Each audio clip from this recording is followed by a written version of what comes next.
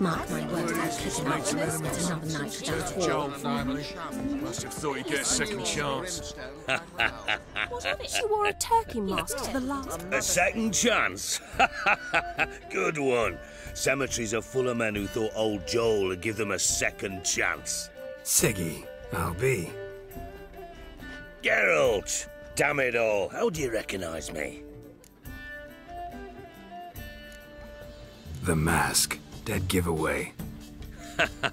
Perfect, right? Could take it off and no one would know the difference. Hey, Reuven. Look at that. My favorite accomplice. What's this? Taking a day off from saving the world?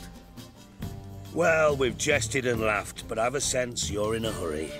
Really? You know, Geralt, somehow I dislike running into you at parties. My bones start to ache, as if bad weather were approaching. Later, Geralt. What, what, what, let, white, what, what, white Well? wolf? Well, Stuffed well, tongues. well, well. Have